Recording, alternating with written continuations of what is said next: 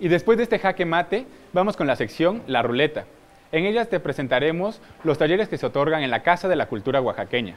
El día de hoy, nuestros amigos Samara y Alejandro fueron al taller de iniciación artística. ¿Por qué no vamos a ver cómo les fue?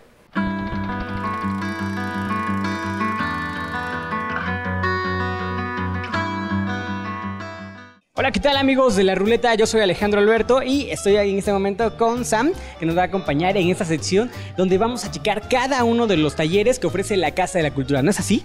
Así es, vamos a hacer un recorrido por toda la Casa de la Cultura y empaparnos de todo lo que es cada uno de estos talleres. Hoy estamos en la unidad de iniciación artística. Esta unidad intenta involucrar a los pequeñines de una vez a todo este mundo de las bellas artes. Un tema bastante interesante porque no solamente es un curso, sino que se ha visto que es una formación integral de los chiquitines. Y pero vamos a conocer a nuestro amigo que es encargado del taller. Acompáñenos.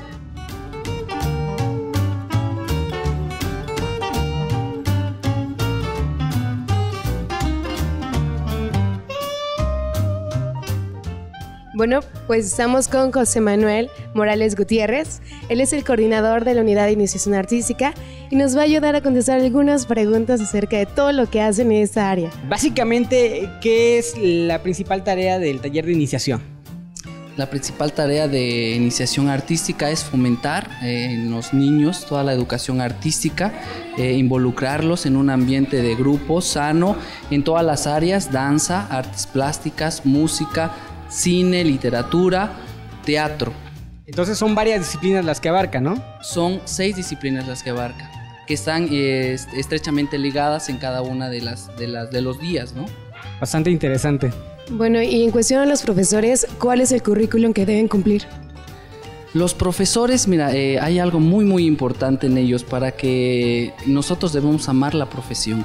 Entonces, si alguien de alguna otra forma está deslindado de eso, no le va no le va a brindar eh, esos valores, esa aceptación, ese, eh, esa responsabilidad al niño, ¿no? Entonces es muy importante que el docente cumpla con un primero un perfil ya sea de artes plásticas, de danza, de teatro, de música, de cine y que posteriormente tenga la apertura a trabajar con niños para que este, con esa apertura que tienen los niños se sientan en confianza en un ambiente de juego, en un ambiente este, constructivo, ¿no? De repente uno se confunde y dice, ah, es el taller para que pase la tarde el niño, como la guardería, para no tenerlo en casa y que no se aburra. Eh, notamos esto de inmediato que es completamente diferente, que es un curso de iniciación que lleva varias disciplinas y que ha dado muy buenos resultados. ¿Puedes platicarnos de los resultados? Efectivamente, es algo, eh, yo como coordinador, como eh, quien encabeza este grupo de amigos, porque nos llamamos un grupo de amigos en el cual este, eh, trabajamos con amor para los niños. tengo unos, tenemos unos resultados maravillosos. Primer lugar a nivel nacional de pintura. Este, segundo lugar a nivel estatal en lo que es también de pintura. por cuenta de algunos padres nos dicen que la desinhibición, la espontaneidad, el, eh, el nivel académico que tienen los niños es bastante este, agradable, con 9.6, 9.7, y que de alguna otra manera han estado involucrados en las artes y específicamente en unidades de iniciación artística. Y lo mejor es que los niños no lo sufren, al contrario, lo disfrutan. Exactamente, la, la metodología que tenemos es totalmente constructivista. Desde el, desde el ambiente del eh, aprender a partir del juego, todo lo que es Ausbel, todo lo que es Vygotsky, todo lo que es Piaget, la metacognición, este, el aspecto sociocultural, que de alguna otra forma se vincula con todo ese trabajo y ese profesionalismo que tienen los docentes. Bueno, también creo que este es un trabajo en equipo, entonces coméntanos cuál es el papel que tienen que tener los padres de familia dentro de todo este proyecto. Qué bueno que tomas ese punto, es algo bastante imprescindible, es esencial que los papás se involucren.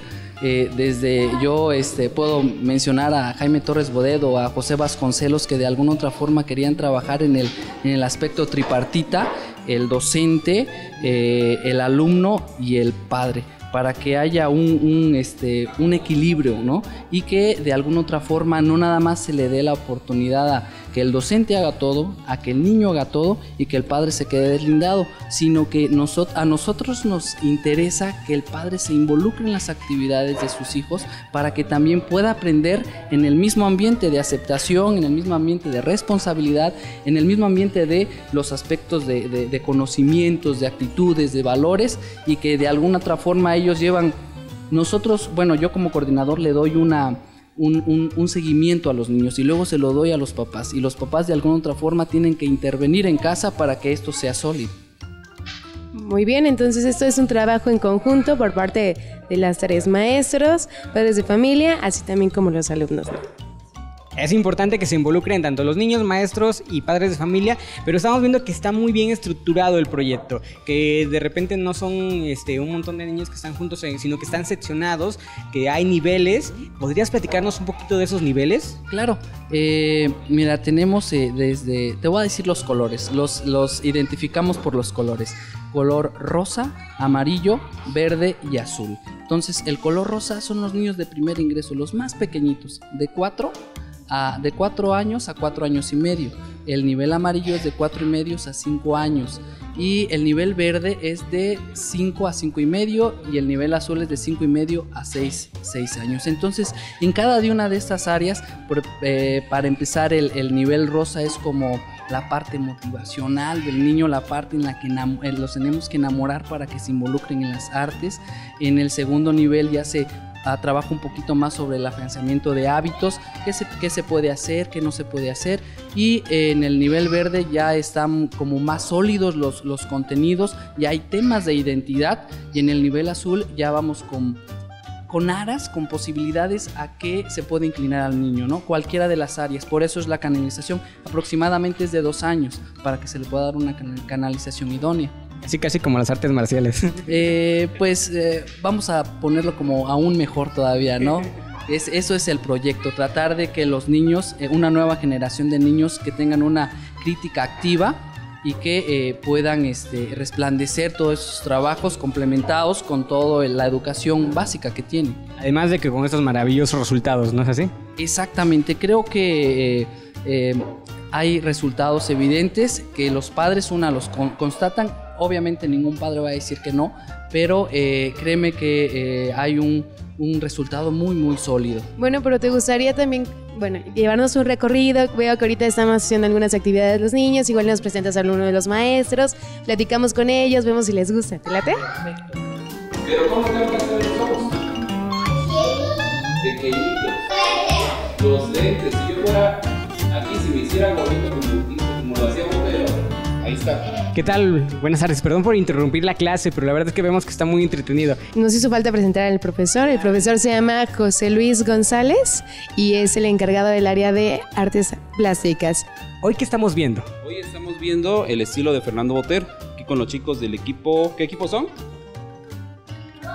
Rojo, con los chicos del equipo rojo.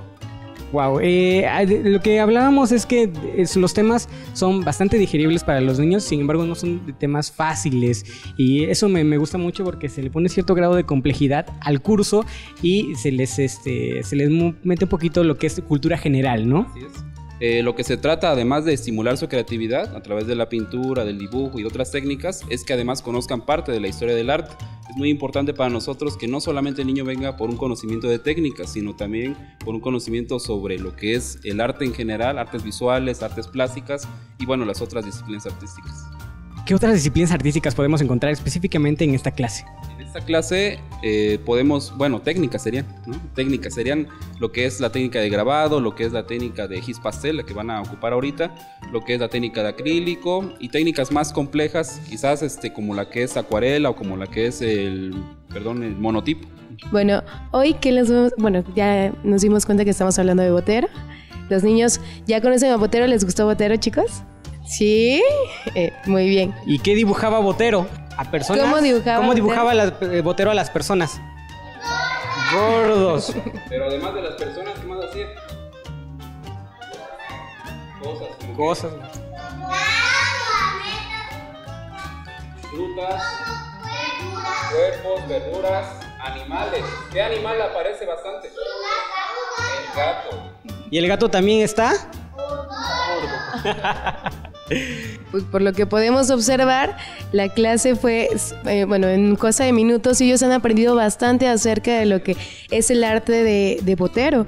En realidad yo creo que su, su enseñanza es indispensable en, en, en esta edad. ¿Usted qué piensa al respecto? La verdad, esto es con el, esto a través del tiempo obviamente se va formando eh, una planeación, obviamente se van probando algunas temáticas que son acorde a la edad que se está trabajando, obviamente no con todos los chicos, depende de la edad con la que se trabaja, ellos ya son de 6, entre 6 y 7 años y obviamente se, se ven o se buscan este, temáticas digeribles para su edad, también así como aplicaciones de técnicas que también puedan emplear sin, sin tanta, este, sin tanta complejidad. ¿Qué más nos podría platicar acerca de todos los avances que han tenido los niños durante todo eh, el tiempo que lleva este proyecto en práctica? Bueno, ellos ya tienen, algunos ya tienen hasta dos años de venir, eh, ellos ya tienen una continuidad de varios niveles, desde el nivel principiante están algunos, algunos se han ido integrando, pero obviamente se trata de que todos los pongamos al mismo nivel y que obviamente no repintan temas, sino, o si se llegan a repetir, se les implementa, se les dé no solamente temas de la historia del arte que tengan que ver con el mundo este, del, de, distintos, este, distintos aspectos, distintos pintores, sino que también sea de cultura de nuestro país. ¿no? Ahorita estamos viendo a Botero, más adelante vamos a ver a Tamayo, a pintores que son ¿no? ya más este, de, de, de, de su entorno. Son contemporáneos, ¿no? Son contemporáneos también, así es. Uh -huh. Bueno, pues eh, yo creo que ha sido todo. Lo dejamos continuar con la clase porque ya venimos a interrumpir. Muchísimas gracias. Al contrario, muchas gracias. Muchas gracias. Adiós, chicos. Adiós. Adiós.